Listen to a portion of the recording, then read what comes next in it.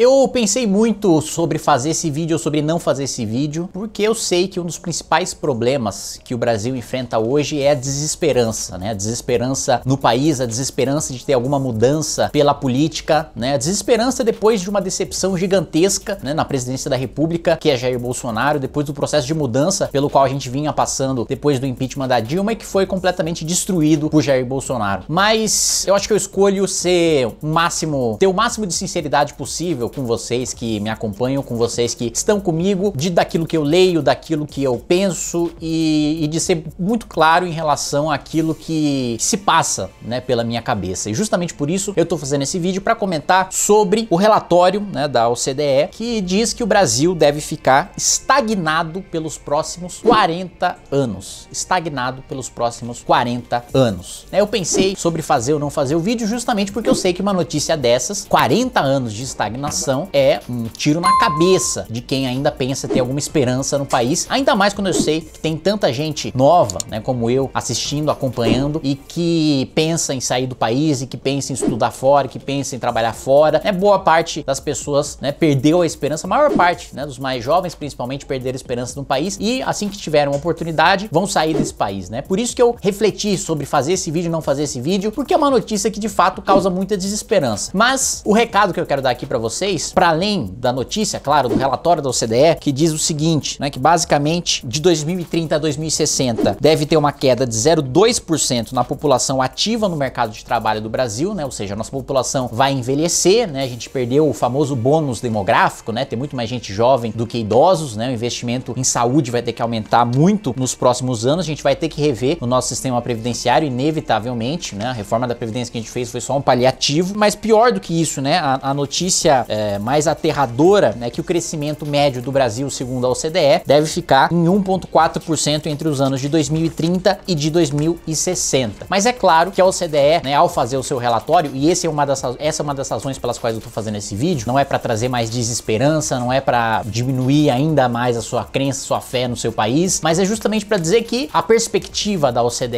é baseada no país que nós temos hoje e na, na, no caminho que nós trilhamos hoje, né, na polarização que nós temos hoje né, entre o Lula e o Bolsonaro. Mas eu, como brasileiro, me nego, né, e acho que você também deveria se negar a ser só um número, uma passagem em branco, esquecida por um relatório de um organismo internacional. Não por desvalorizar o CDE, mas pelo próprio orgulho, pelo próprio brio da gente não aceitar ser refém da situação que a gente se encontra. Eu já disse isso várias vezes faço questão de repetir, né? A maior parte do país, a maior parte do Brasil, né, é formada por gente honesta, tá sequestrada formada por meia dúzia de canalha, por meia dúzia de bandido, de ladrão, que disputa o poder entre si e que faz parecer ou quer fazer parecer que as únicas alternativas são dois projetos autoritários e criminosos de poder, que é o projeto de poder do Lula e o projeto de poder do Bolsonaro, né? Ambos sem apreço nenhum pela democracia, ambos sem apreço nenhum pela liberdade de expressão, liberdade de imprensa, liberdade de livre associação, né? ambos projetos de poder hegemônicos dentro dos seus campos ideológicos, ou, ou seja, o Lula tenta destruir todas as outras lideranças de esquerda, assim como o Bolsonaro tenta destruir todas as outras lideranças de direita, para não ter renovação nenhuma, para não ter oxigenação nenhuma. São dois nomes que já vêm muito antigos, muito velhos da política, né? Apesar do Bolsonaro ter se vendido como novo nas últimas eleições, a gente não pode se fazer de refém dessa situação. A gente não pode aceitar, né, ser um mero cálculo estatístico é, de fracasso dentro da, da, da média da OCDE. O meu sonho, a minha aspiração de país, né? Aliás, é até uma coisa que eu aprendo e ouço, escuto, né, desde de muito jovem, né, de que o Brasil, né, tem um, um potencial gigantesco gigantesco e etc., de que almeja ter mais relevância mundial, ter mais relevância geopolítica, ter um assento é, é, garantido no Conselho de Segurança da ONU. E eu acho que essa tem que ser a nossa ambição, ser uma potência mesmo, ser desenvolvido, de estar sentado na mesa com os maiores players internacionais, porque a gente tem o potencial, a gente tem as pessoas, a gente tem o território, a gente tem os recursos naturais, a gente tem todo o potencial para isso, né? Uma das coisas que quando eu converso com diplomatas de outros países, de países europeus, é, dos Estados Unidos ou mesmo da Ásia, né? Uma das coisas que mais causa inveja países desenvolvidos em relação ao Brasil é o seu clima, é, são seus recursos naturais, né, são seus, é, é a sua miscigenação, né, que diminui as tensões é, sociais, que faz com que a gente seja uma população muito mais aberta, muito mais coesa, né, muito mais tolerante em relação aos diferentes do que a gente vê em, em alguns países desenvolvidos com tensões é, históricas. Claro que nós temos nossas tensões, que nós temos nossos conflitos, mas muito menores do que existem nesse país desenvolvidos. Claro que nós temos nossos problemas é, ambientais, mas muito menores do que dos países desenvolvidos e nós temos todo o potencial para sair dessa falsa dicotomia, para sair desse falso dilema entre um projeto populista, autoritário e corrupto de esquerda e um projeto populista, autoritário e corrupto de direita, né? Tem gente fazendo, enquanto a gente assiste toda a desgraça no jornal, tem gente que, óbvio, né, a desgraça vende mais, né? As notícias ruins chamam mais atenção, vendem mais jornal, dão mais clique, dão mais audiência, mais gente ligando na televisão, mas no final das contas, enquanto a gente vê todas essas notícias ruins, tem gente fazendo trabalho sério, tem gente fazendo trabalho sério uh, empreendendo, tem gente fazendo trabalho sério no, no setor público, tem gente fazendo trabalho sério uh, no SUS, dando o máximo de si para tentar fazer com que o serviço público se aproxime, né, o máximo possível do padrão de qualidade de atendimento da iniciativa privada, tem gente dando o máximo de si na, nos setores de educação, tem os servidores ruins, tem os servidores vagabundos, tem os servidores corruptos, tem, assim como na iniciativa privada tem uma a, a elite, né, de gente que não vive de gerar valor, de produzir riqueza, mas vive dos privilégios concedidos pelo Estado, vive de privilégio tributário, vive de crédito subsidiado, vive de fazer negócio com o governo. Tem, né, essa, essa, essa, essa banda podre da iniciativa privada, como você tem no setor público? Tem, mas é sempre bom reforçar. São exceção. A maior parte das pessoas se esforça e se esforça muito, dá o máximo de si pra gente construir o país, para construir o futuro das nossas famílias. Por isso, né, eu compartilho essa notícia com vocês, mesmo sendo uma notícia ruim, mesmo sendo uma notícia que traz desesperança e mesmo sendo a desesperança um dos meus principais desafios, né, e desafios de outros que querem continuar no Brasil e que querem fazer com que as pessoas permaneçam e acreditem, porque não adianta a gente querer também construir o Brasil mandando as melhores mentes para fora, né? Quem é tem oportunidade, quem, quem tem a capacidade, quem é descoberto por uma potência é logo sequestrado, né? É logo mandado, né? Entra logo nessa onda, nesse êxodo, né? De, de cabeças pensantes para países desenvolvidos. Não, a gente tem que manter gente boa aqui, tem que manter gente é, é, que trabalha, gente que faz trabalho de ponta dentro do Brasil e tem que manter, porque é uma questão de orgulho, é uma questão de